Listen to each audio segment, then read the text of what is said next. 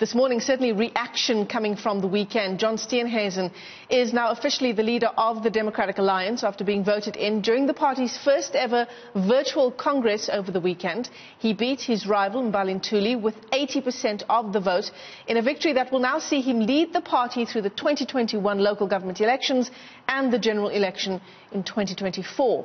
But will he succeed in winning South Africa's biggest opposition party, a, biggest, a bigger slice, pardon me, of the national national vote come election time. Get you some analysis now. We're joined by political science lecturer, that's Professor Dirk Kotze from the University of South Africa. Prof, thanks again. Welcome to the to the AM report. Thanks for coming on and chatting to us. Probably the worst surprise of the weekend, this win by John Steenhuisen. Uh, the question now is, how does he bring he, who, someone who was his contender uh, in this election, in this elective Congress, how does he bring someone like Mbali Ntuli closer to the leadership of the DA? Yes, I think it's very important that he does that. Uh, yesterday, he already started to reach out. She reached out to him also. But I think it's very important that there is sort of visible signs that there's no factions developed around the two of them, but that it's afterwards that they can come back together um, as a more unified uh, party. So it is absolutely essential that the, she's not left in the cold um, and that she's not seen as simply an opposition and it was a winner-loser situation. So in that sense, I think uh, in the next few weeks, uh, he will have to take some steps in order to bring her closer in terms of ne- not necessarily in a formal position in, in the, as one of the leadership uh, positions because that's elected position, but in terms of involving her in decision making and in providing the, the guidance within the party. Mm. How he's going to do that is something else, which I, I don't have to prescribe to him or suggest. But in principle, that is, I think, what is what I would expect from him to do. Yeah, yeah. And Prof, you talk about, uh, you know, factions not now emerging uh, as a consequence of what happened over the weekend. Factionalism itself is a challenge in the DA, as we've seen uh, you know, things have unfolded over the past months and years in the party.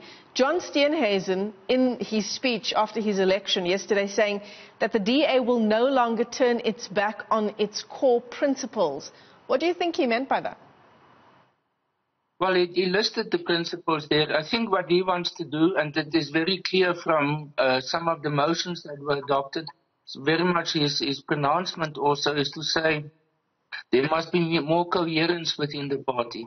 Uh, in the past, there was lots of debates and fragmentation actually in the party because of social uh, media debates, because of announcements made there. One of the motions is specifically aimed at the social media and saying, you know, well, party members, if they have problems, they must use the internal processes of the party, not go outside social media in order to score points against others. Mm. So I think what he wants to do is to, to bring bring back the, the processes into the party, to introduce more discipline within the party, and to say focus on the party when we have to deal with issues and make it an internal party debate instead of open debate um, in which any person can become involved in. So his approach is to, to tighten the, the control over or the internal processes within the DA, which is slightly different from that of, of Mbali and Ntuli, who was more talking about that the party must become inclusive. Mm. So there are different emphases that they had on how the party must move forward. Uh, Professor Kotze, as we continue to reflect on you know, where the DA is coming from historically, particularly over the past, say, say 18 months of, of the party's life, you know, with uh, Mmusi Maimane, uh, the ousting of what was touted as black leaders being targeted in the party. H- how does, how does uh, John Steenhuisen deal with that perception now that the DA does treat its black leaders in a particular ne- uh, negative way and also at the same time, while dealing with that perception, attract a new voter base? Yes, I think that that will be one of his main challenges is, is how to because of his own position of how to make sure that the diversity, and he emphasized that very much, the diverse composition of the, the leadership of the DA um, Oh, that is visible in public. Now, I think one of the failures of the DA was is that they didn't showcase their leadership well enough. For example, at provincial level, eight of the nine members are, are black. Uh, eight of the nine provincial leaders are black persons, but we you seldom see them. Now, you you see um, uh, Phumzile van Damme, you see Solly Malatsi, they are some of the main spokespersons of the DA, but otherwise you don't necessarily see them. So there has to be a new strategy also, a communication strategy, a way in which the, the party is branded, in, in which they will have to emphasize this, this idea, this assumption that they are making that they are the most diverse, the most inclusive party um, of the main, main, the three main parties. But at the same time, I think he will have to have a more of a collective decision-making leadership style. Now, in the past, it was sometimes very much just this one leader who's seen almost as a one-man or one-woman show. Um, while the, the very nature of the DA is actually that of a more federal collective type of party. If you look at what happened at the past Congress now, they've elected three, actually a troika of leadership. Him as the federal leader, Ivan Meyer as the federal chairperson, and Helen Zille as the chairperson of the Federal Council. So they're very, the composition of the party is actually emphasizing that there must be cooperation and not one single leader that dominates everything. Well, well, since you're on that topic, uh, Prof, there is a lot of chatter now about Helen Zille's influence over the actual leadership of the party. What is your take on that issue?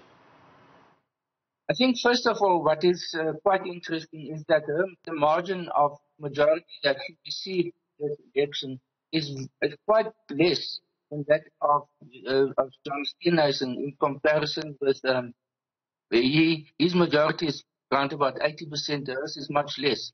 So there's indication that she is not so in a strong position as what he is, for example. At the same time, I think I can foresee the situation that the more he establishes himself as um, the leader of the DA, the less relevant Helen Zille will become. Because she came in initially as the person who was seen to stabilize the DA after all the resignations.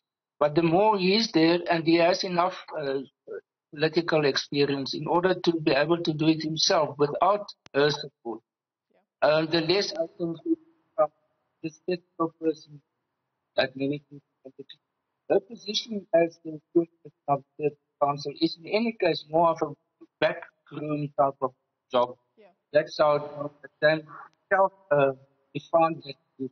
So the way in which the position has been uh, designed for. So I, I, my my prediction is over time, therefore, her influence in the DA will actually be in decline. Well, I suppose uh, also just in terms of uh, you know how successful uh, the DA is, that is something that we can gauge come election time, uh, of course, local government elections next year and the national poll in 2024. Prof, thanks very much for your time this morning on the AM report. Professor Dirk Kotze is a political science lecturer at UNISA, joining us this morning as we continue to reflect on the DA's elective uh, conference that took place just over the weekend.